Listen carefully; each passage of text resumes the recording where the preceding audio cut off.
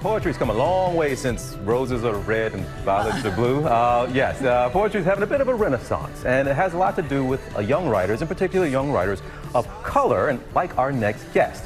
Brandon Leake first caught our attention as the winner of season 15 of America's Got Talent. And you know where this talented young fella is right now. He is here in studio, and he has a spoken word performance for us. So please welcome poet and author of the debut book, Unraveling, Mr. Brandon Leake, young fella.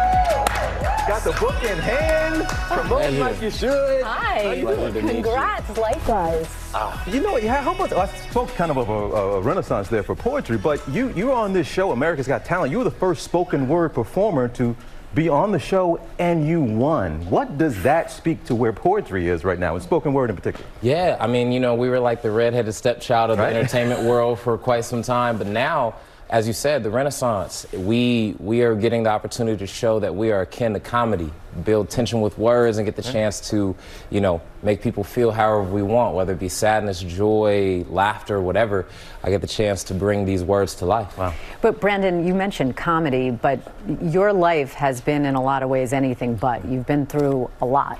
Um, losses, gun violence. You talk about a lot of social injustices that your kids are facing in your collection of poetry. Has what you've been through helped you with your art or vice versa? Was there a catharsis of sorts? Oh, I mean, the art just starts off as catharsis. I mean, the reason why the book is entitled Unraveling is because I think many people fear the idea of what happens when you become undone. But for me, mm-hmm. my art is my process of undoing thoughts, undoing feelings and emotions, and being able to then regather them into a healthier form. Mm. Um, and as an artist, what I aspire to do, even beyond my art, is to invest and pour into other people. From the grocery store I'm trying to open that I mentioned prior, to the work that I put up on stage, to shoot, even I have a new special coming out called Family Affair on the CW on Juneteenth. Wow. And so and all of that features work from this book. So, well, congratulations! You got the book in hand. We want folks to know it's his poetry collection, Unraveling. It is available now, but we want to get to your spoken word performance. We will step out of the way, and the floor is yours, young fella. I appreciate y'all. So this piece is one entitled "Running Out." It's a response to my time on America's Got Talent. I feel like I'm running out of time.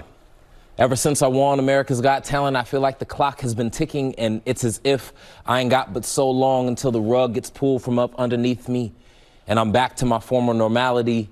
Now, there's nothing wrong with the past, but I've grown to know it belongs behind me instead of it becoming my destiny, and I guess that's what I'm afraid of. I'm afraid of having come so far to have only come but so far, having battled for so long for the sake of this dream. I thought winning would be liberating, but instead I feel like I'm skating on thin ice above the, above the bitter cold reality of what happens when opportunity stares you in the face and elects to pass you by, and I'm terrified. Terrified of falling a failing. That's why I'm always afraid to journey this high, carrying all this weight. And nowadays, I can't tell if I'm bearing this burden due to my strength or numbness, but either way, I'm tired. Mind racing about everything standing in my way, ignoring the fact that I did something only 14 others in this world had done. And it's hard to find happiness when anxiety is found home in the cracks of my victories.